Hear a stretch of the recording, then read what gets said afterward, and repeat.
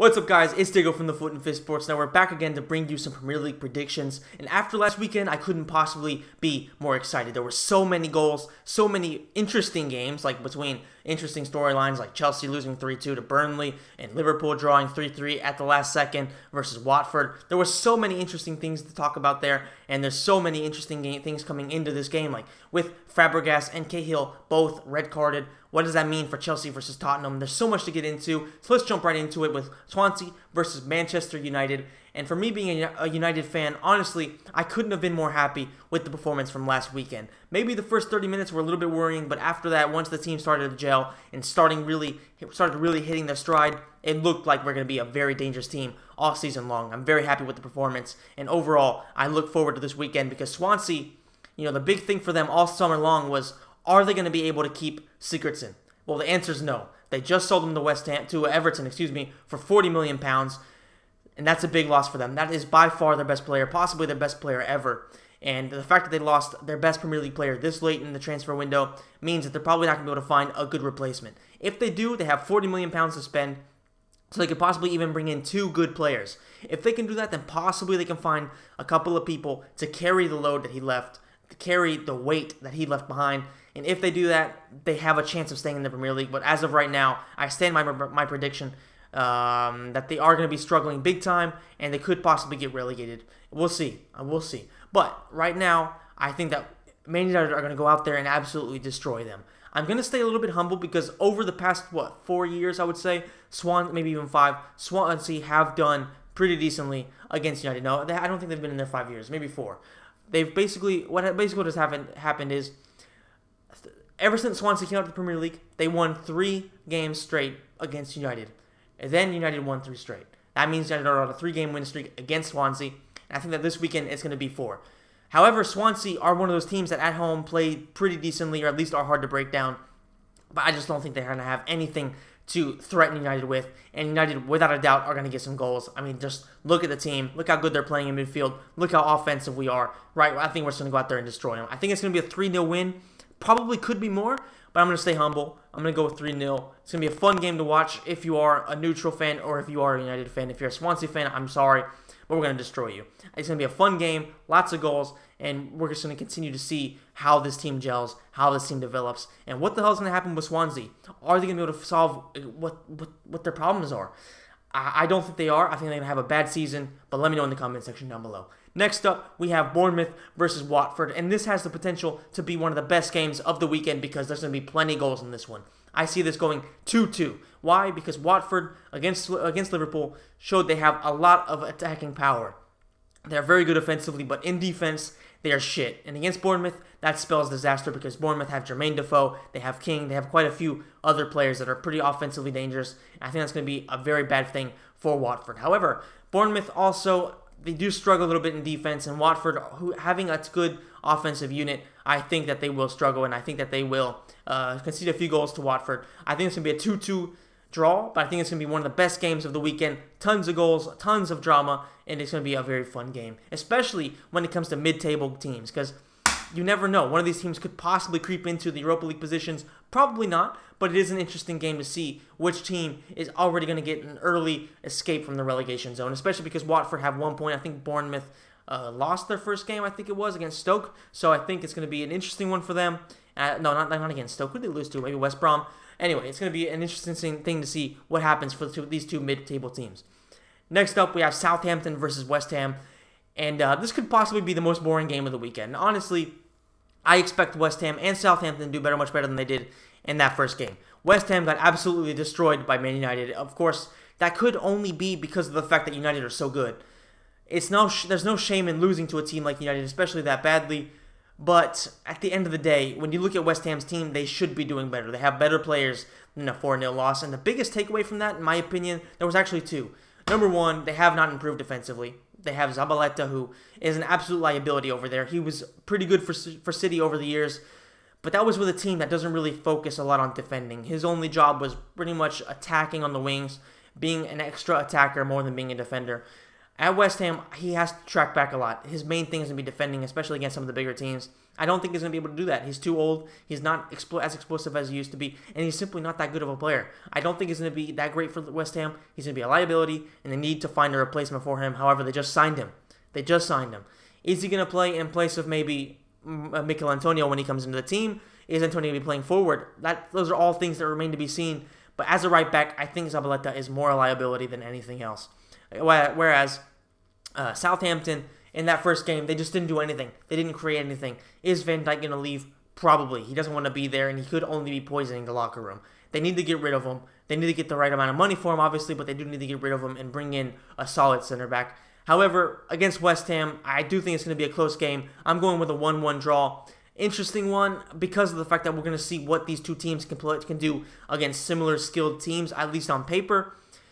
But West Ham definitely, being the better team of the two, should be able to at least get a draw away from home. And I do think that the, the other takeaway that I had that I didn't mention is the fact that offensively, West Ham don't have what it takes to really, I guess you could say, counterattack well when it comes to having a striker up front who can dish out play, you know, hold things up and really do some good passing, like a player like maybe Morata's going to be able to do for Chelsea. West Ham, when they're going to be playing against teams that are much better than them, they're going to need a striker who can really hold up the ball, help the team, basically draw his own team forward, and create something.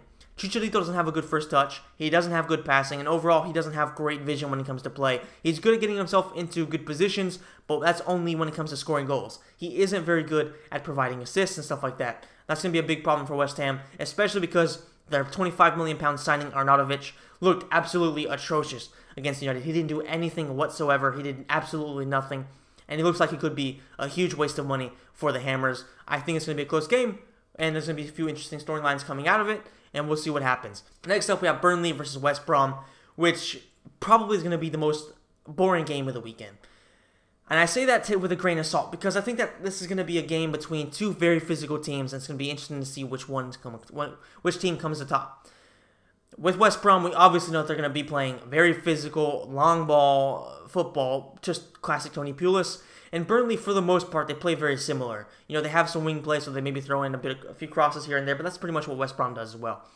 The big thing for West Brom is they just signed a player like Gareth Barry, who has really done a lot of good things overall in his career. You know, he was a mainstay for Chelsea, for City for a very long time, so he has what it takes to even play at the top level. Not now, but in his prime, he was a Champions League level footballer. Maybe not a starter, excuse me, but definitely a bench player. So he is a good signing for him. He's a very Tony Pulis esque signing because he is very good in defending. He's a central offensive midfielder who's very good at defending. Doesn't really bring much offensively, but that's not really his job. That's not what he's there for. He's just there to provide good defense, provide good cover for his team, and that's exactly what he's going to be doing. Um, now, Burnley against Chelsea obviously got a huge 3 2 win. But I have to take that with a grain of salt because Chelsea were down to nine men at one point. I think the first goal that Chelsea scored in the comeback, Morata's goal, they were still 10 men, but then the second goal, they were already at 9 men. So that just shows that Burnley's defense is very bad. I mean, I stand by my predictions of them getting relegated because of, because of that very fact. I don't think that defensively they have what it takes to hold up against some of the better teams, and even against a team like West Brom, I don't think they're going to be able to go out there and get the win because yes, Vokes had a good game and Ward had a very tremendous goal, but against a team like West Brom where they're going to be back, they're going to be matched physically. I just think it's going to be a stalemate. It's going to be a 1-1 draw. Probably a pretty boring game, but it is going to be an interesting one because these are two teams that could potentially be in the relegation battle. And the winner of this one, if there is a winner, could definitely take a big step forward. Even though it's so early on, I think Burnley need to get as many results as possible early on before teams really start to gel if they want to have any chance of surviving. Next up, we have Leicester versus Brighton, and this could potentially be a pretty interesting game. Why? Well, because Brighton, even though they did lose 2 0 to City, they actually improved, uh, impressed me in a very big way. Up until like the 55th or, or 60th minute, more or less, they were holding their own. They weren't getting destroyed. Yes, City were, were creating a lot of chances, but that's what City do. That's exactly what they fucking do. They've done that every season for the past like five or six years. That's what they do. They create a lot of chances. The big thing is they weren't able to score a lot of goals against Brighton, which isn't something that most releg- uh, newly promoted teams can say. They usually get absolutely dismantled as soon as they move up, and that's really something that you have to give them credit for. They managed to stay in the game against City, and they actually created a few good chances before conceding those goals. So maybe they got a little bit too cocky and opened themselves a little bit up, uh, opened themselves up a little bit too much. But at the end of the day, City got the win, and that does mean that Leicester have the chance to break them down, especially because Leicester play a lot more direct. They aren't like a City team who develop a lot of play with a lot of intricate play. No. Leicester go out there, they run straight at you, they play long balls, they play balls in behind the defense with Vardy hoping to chase them down. They have a lot of quick players, and it's going to be a good test for Brighton because, yes, playing against City, it's obviously an almost impossible task for them. But against a team like Leicester, who I would say are probably a top 10 team, but not necessarily a top 8, top 7, it's going to be a good test for them against a mid range team. A, a mid range team who, granted, have a lot of offensive power. If Mahrez is in shape, if he's in form, then he's going to be a very dangerous player, and that could possibly be the end for Brighton in this match. But obviously, going against Vardy, going against Mahrez, going against players, uh, even defensively against a player like Wes Morgan, who he looked pretty decent in the first game, but he has so many problems. He just has so many defensive weaknesses. I mean, there's always a chance for Brighton to get a result in there, especially because Leicester, they tend to have some defensive issues. Last season, they had the same problems this season against Arsenal, who granted are a very offensively good team. They did show that they still have some holes. If Brighton can exploit them, then they will get a goal. I do think they will get one goal. I do think, though, that Leicester will score more. They will score two. It's going to be a very fun game, very interesting test for Brighton at this level. Next up, we have Liverpool versus Crystal Palace, which has the potential to be a very fun game, possibly the, also the best game of the weekend. I think it's going to be between them uh, and the Watford game when it comes to pure entertainment. Why? Well, because Liverpool, like I already said, against Watford showed that they have a really good offensive team, but in defense, they remain garbage. They remain garbage. They've been garbage for the past few years, and they have simply have not found the ingredients to really fix that. That's gonna be that's gonna be their weakness. It always is, and it always will be as long as they don't improve their fucking team. That's exactly what's gonna happen right here. I do think they're gonna score some goals over all season long. They're gonna be a high scoring team, but they're also going to have a lot of goals conceded at the end of the day. That's to be their weakness. It's going to be what breaks them down. That's, that's what's going to keep them from reaching the top four. We saw also against the, that they just played a game against Hoffenheim. I think it was Wednesday. Excuse me, Wednesday in the Champions League. So will that be will that be a problem for them? I think it probably will be because they don't have a lot of depth in their team. They don't have a lot of really good players that they can mix into the starting lineup against a team like this and really have a lot of like a lot of confidence in them.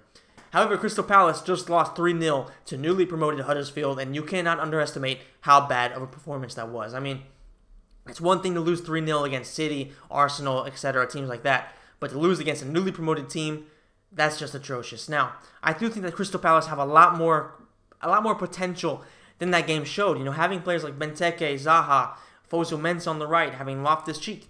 The talent is there, especially against a team like Liverpool, who really struggle against counter-attacking teams. That's going to be a big problem for them. If Crystal Palace can exploit that because they have so much pace in those players. If they can exploit that, play on the counter attack, and not play your classic De Boer football, which is very slow build up, uh, very horizontal, very Van Gaal esque football. If they play more direct, they have a chance. If they play horizontal shit, I don't expect them to do much of anything all season long, especially this game against Liverpool. And I do think that if they play, I do think they will play counter-attacking football. I'm I'm hoping that De Boer is smart enough tactically to understand that in this game, if they play that style, if they play their style of football, they simply don't have what it takes because that's that's that takes time to develop players like that. Last season they were used to playing counterattacking. They were used to playing long balls. Give them that chance. Let them play that style against a Liverpool team that's going to be pressing really high, going to be leaving space behind the defenders, and let them try to use their pace to get in behind the defenders and exploit them. Exploit them, expose them. Do what Watford did. Just take a page out of their playbook and do that. If you do that, you'll possibly get a result. I actually think that's going to happen. I think it's going to be another 2-2 draw. Uh, I, well, last last weekend was a 3-3 draw, so I, I think it's going to be another draw. 2-2, lots of goals, lots of fun, and overall, as a neutral, well, I'm, I'm not really a neutral fan because I dislike Liverpool. I'm a United fan, but at the end of the day, you know, it is a game where United aren't playing. So I'm hoping for a lot of goals. I'm hoping, obviously, Liverpool drop points, and I just want a spectacular game. I do think that Watford will get a draw. Next up, we have Stoke versus Arsenal. Arsenal in that game against Leicester, like I've already mentioned, they looked really good offensively, but they looked absolutely piss poor defensively. And that's probably down to the fact that Mertesacker is injured, uh, Mustafi is injured. Also, I think they have uh, Koscielny also out injured, which shocker there, right? Uh, so all their all their defenders are out, which is the classic Arsenal situation. So they started off the season with a bang offensively, but also looking like the classic shit Arsenal they are defensively. If they don't fix that, they're going to have problems all season long. However, against a team like Stoke, who haven't really improved over the summer and don't really look like they have anything to really offer offensively or defensively. Anything there's there's nothing really in particular from them that has to worry teams. I don't think Arsenal will be too threatened by them. I think it's going to be Arsenal win 2 1. But it's going to be interesting to see if Arsenal's defense can hold a bit better this weekend. Is Mertesacker going to be back? I mean, he just had a big cut over his head. I don't see why he can't play. Just put a band-aid over it and just play. I don't understand why he can't. Uh, maybe he's a bit of a pussy, but I don't know. He's German, so technically he's not going to be a pussy. But we'll see. We'll see if he does play. We'll see what Arsenal shows up. Are they going to still be playing that 3-5-2 or 3-5-1-2, whatever the hell they were playing? Uh, are they, are they still going to be trying to employ that formation? We'll see. It's interesting because we've never really seen Wenger play that style, and if he does with the defenders he has, if they aren't back, if the main guys aren't back, he has the chance of conceding a few goals. I think he'll concede one. I think that Stoke will get at least one goal. They still have a player like Shaqiri in there, and they still have a few good players here and there. But overall, I don't think they have what it takes to really do well this season. I think they're going to be doing worse. And I think Arsenal will get the win here. It's going to be a 2 1 hard fought win because at the Stadium of Light, you never have an easy time. They are still very physical, so they are going to make it rough for you. But Arsenal will get the W, will get the three points, and will continue their run of positive results. Next up, we have Huddersfield versus Newcastle, which could possibly be uh, an interesting game, especially because it's two newly promoted teams. And this has early implications for Premier League survival because whenever these two teams, whenever the. Um, the newly promoted teams, and even the teams that are battling for or that are likely going to be battling for relegation zone. Once they uh, once they come against each other, especially this early on, it's massive for both teams to get a result. Especially Newcastle, who just lost to Tottenham 2 0, and Huddersfield, who are going to be having a head of steam after beating Crystal Palace 3 0. It's going to be a very interesting battle, especially because Huddersfield at home. Newcastle don't tend to do very well away from home, and the last time these two teams played was a 2 1 win for Huddersfield. That doesn't really mean much because that happened in the Champions League. I mean, the, the Champions League, they fucking wish. That happened in the Championship. And whenever you play in the Premier League, it's obviously very different. But I do think that West Ham, I mean, West Ham, what the fuck is up with me? I do think that Huddersfield probably are going to be, a, by a, a very small margin, the favorites in this game because they're playing at home. I think Newcastle probably have the better team. They have a much better manager. But Huddersfield could potentially go out there and sleep, again, steal the result. I don't think that's going to happen. I think Benitez playing away from home is going to favor the fact that he's going to be playing very defensively. He's going to be very careful, especially because Jonjo Shelvey is out with a red card. He doesn't really have a great uh, the quality midfielder that he usually has. Uh, obviously, if they play the counter attack, they have a good, a decent chance. But I think that he's going to play very defensively and not really take a whole lot of risks. So it's going to be a one-one draw. Newcastle need to start getting points immediately, or they're going to be finding themselves already among the pressure of being among the relegated teams. Now we have Tottenham versus Chelsea, which without a doubt is the biggest game of the weekend when it comes to the size of the clubs. And I do think it's going to be a huge test for Chelsea.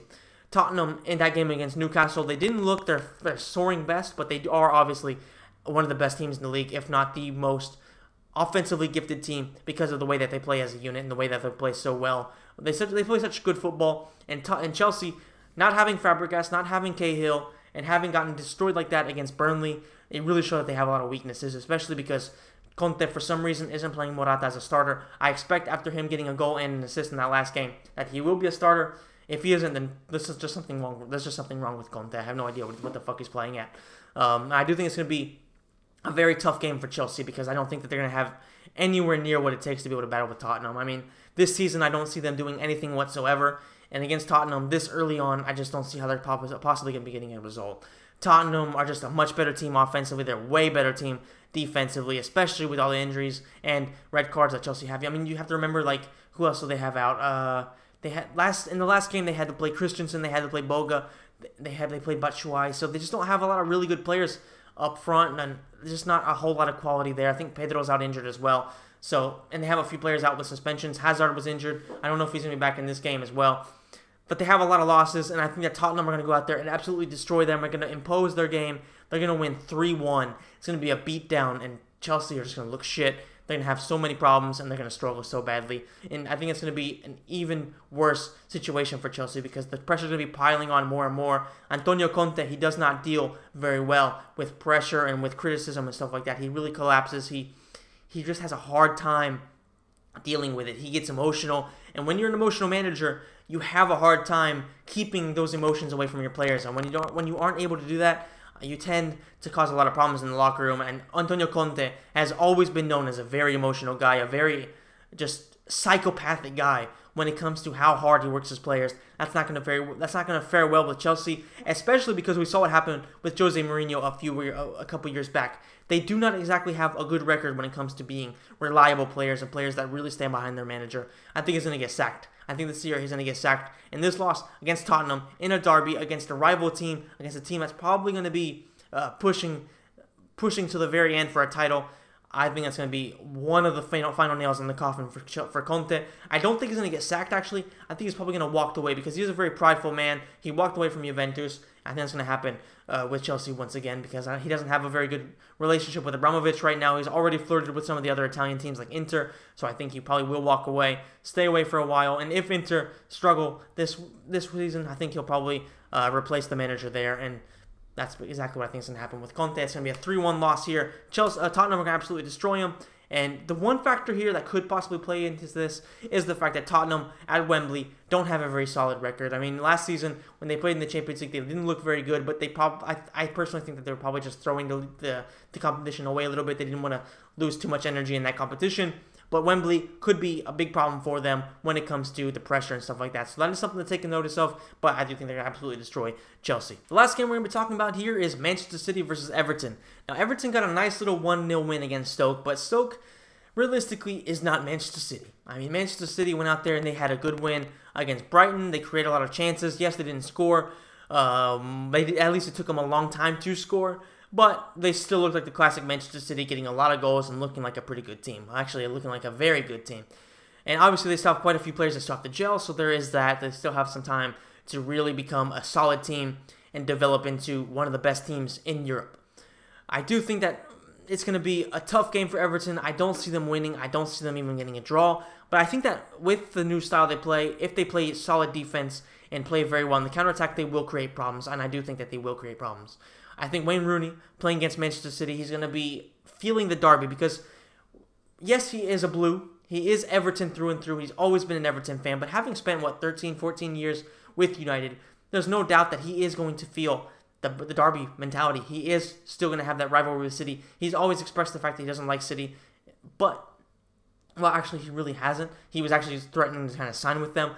But still, I do think he's going to have that little bit of that Derby mentality, wanting to do his former club a favor. I think that he will get a goal in this game. Honestly, I think that he's going to free find his goal scoring prowess with Everton being one of the main men, being a guy who doesn't have a lot of pressure on him, and just being in a team that overall really fits him. I think that's going to be perfect for him. I think he's going to get a goal against City, but it's not going to be enough. City are going to score two. It's going to be a 2 1 win. And overall, City really showed against Brighton that they have they also have a lot of heart because a lot of teams would have struggled, especially because Brighton were getting a lot of chances there later on. I think they had a couple of chances within like 30 seconds of each other, maybe a minute. There was like a corner, then another corner right after that. They had uh, they had some chances where the City looking like they were starting to you know sort of shake a little bit and looking like the City of old probably would have collapsed, conceded at least one goal, and possibly even gone on to win like 3-1 or something like that. But still, they would have had a lot more of a hard time than they actually did. So hats off to the City in that sense. But I do think the City obviously are going to be one of the best teams in the Premier League, if not Europe. So they have to be respected, and I have I do think that they will at home definitely have a very solid record. Guardiola is going to be uh, for the first time this season. Obviously, it's early doors, but for the first time this season, tested against a really good team. Because Everton, make no mistake about it, even though they did lose Lukaku, they've made some really good signings, and they are a very dangerous team. So it's going to be the first test for City this season, and if they pass it, obviously hats off to them. It's going to be a good uh, a good result for them to get a result regardless. Now, if you enjoyed this video, please hit the like button, please subscribe to the channel, and please share with anybody that you think is interested in this stuff. Uh, I don't know. The Premier League is just going to be so good this weekend, and I am getting a little bit tired doing this video. It's a 25 minute talk session. I'm not used to doing these videos as long because the YouTube algorithm uh, actually favors people who do longer videos, so I'm trying to be a bit more detailed in my predictions and things like that in all my videos a bit more detailed so I can provide with longer content possibly have YouTube help me out a little bit more because if you see some of my videos uh, in the past when the algorithm was a bit shorter and things like that my videos were doing a lot better but now they're having a lot of I'm, I'm honestly guys I'm having a really hard time getting any viewership hopefully you guys will help me out and share this video hit the like button help me get some uh, get some uh, get some YouTube love basically Thank you so much for watching. I will see you in the next video, which will definitely be the Premier League breakdown with the Premier League Aftermath show, excuse me, which will be coming out Monday or Tuesday, depending on how good my Wi-Fi is. Thank you so much for watching, and I will see you then.